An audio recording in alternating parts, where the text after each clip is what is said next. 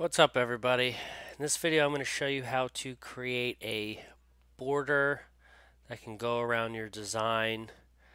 Uh, somebody asked me for advice on how to get a outline for a solid color to go around a glitter. So in this video we're going to pretend that this purple that I have on the screen here is glitter. So you have your purple glitter design. I'm going to show you how to do a border around it and set up the border so it's um, the best when applied to a t-shirt. So first thing you want to do is you want to come over here to your right side and you find the little star which is the offset panel. You click on that and you want to make sure your design is highlighted and then you click offset and it gives you this offset border goes around. Now you can make this bigger or smaller How it goes real big. You can also click back and make it, you know, really small. So what I'm going to do is I'm going to find where I want the border. So I think that looks good. What I'm going to do is I'm going to make it two clicks smaller than it then I actually want it. And I'll explain later why I do that. So I'm just going to click it twice. So it was at 0.130. Now I have it at 0.120. Now I'm going to go ahead and apply it. Now you can see that it's solid offset. Let's put that back. I'm actually going to uh, color in the offset mint so you guys can see it a little better.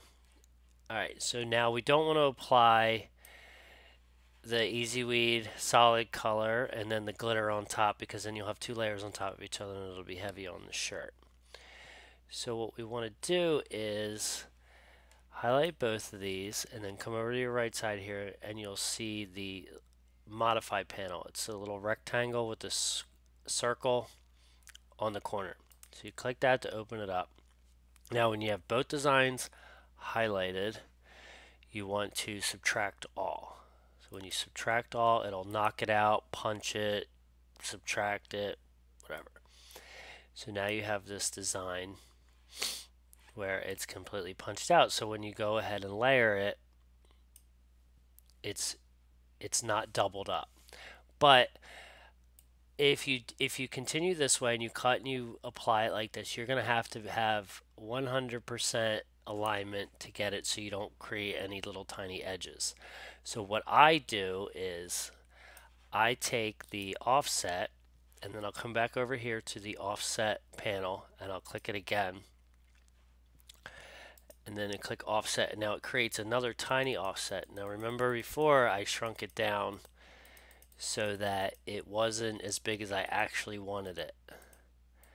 So if I create a little tiny border around it and I actually did 0.020 which was two clicks from uh, what I did before and I'll apply it and then I'll move this out and then I'll color this back into mint or whatever color.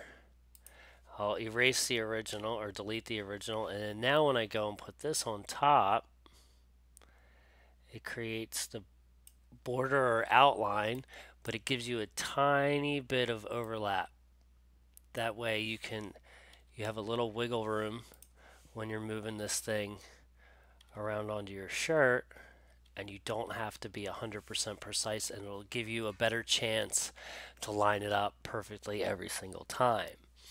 Now that's just a little trick that I do to save me some time when applying it because you know once you apply something to a t-shirt it's a pain to get off even if you do have um, VLR or anything like that. Well, if you have any questions or comments, please leave them. I'll be happy to answer them. If this didn't make sense, let me know and I'll redo the video or, whatever. Uh, thanks.